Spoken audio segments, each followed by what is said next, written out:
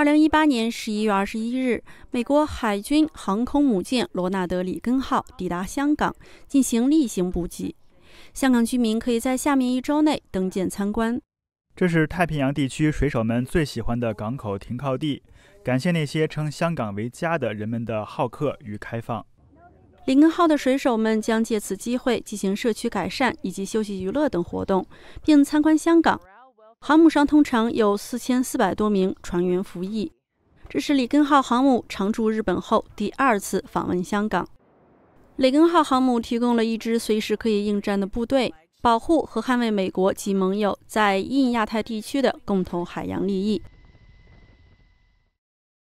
退伍军人日与阵亡将士纪念日容易引发一些混淆，他们的不同点在哪里呢？退伍军人日是向国家的每一位退伍军人致敬并表示感激的节日，而阵亡将士纪念日是纪念为国捐躯的军人并向他们加以致敬的节日。退伍军人日最初来自1918年11月11日第一次世界大战宣布终战的休战日，主要是为了纪念参加第一次世界大战的老兵。二战与韩战结束之后，国会将休战日改为退伍军人日。阵亡将士纪念日最早是扫墓日，纪念南北战争期间死亡的所有美国人。一八六八年，死者家属在阿灵顿国家烈士公墓为两万名战死军人的墓地扫墓祭灵。一战结束后，扫墓日改名为阵亡将士纪念日，纪念美国历次战争中阵亡的所有军人。这两个节日的设立都是为了表彰美国军人的爱国热情、奉献精神以及做出的牺牲。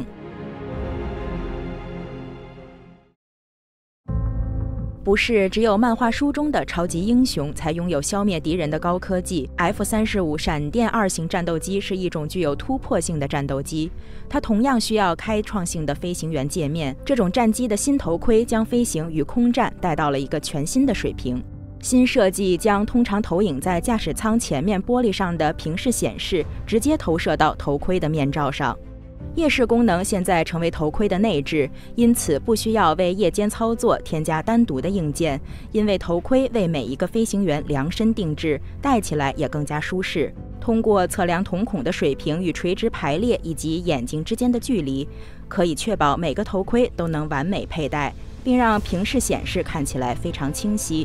另一个很酷的功能是，头盔面罩可以展现三百六十度的数字图像，显示飞机周围的情况。所以，当飞行员往下看的时候，他们能看穿飞机底部，知道飞机下方的情况。所有这些技术都被装入一个只有五磅重的头盔中，让飞行员如虎添翼。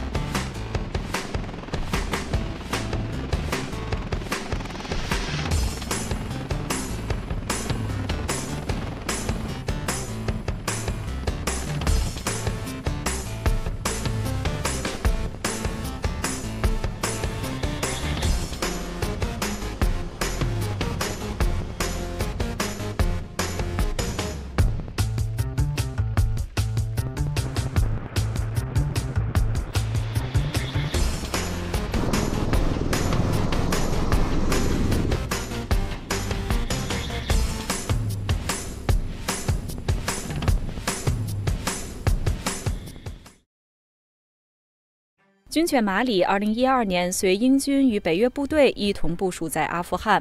一次在首都喀布尔执行任务时，马里帮助清除了一栋被敌对势力占领的大楼。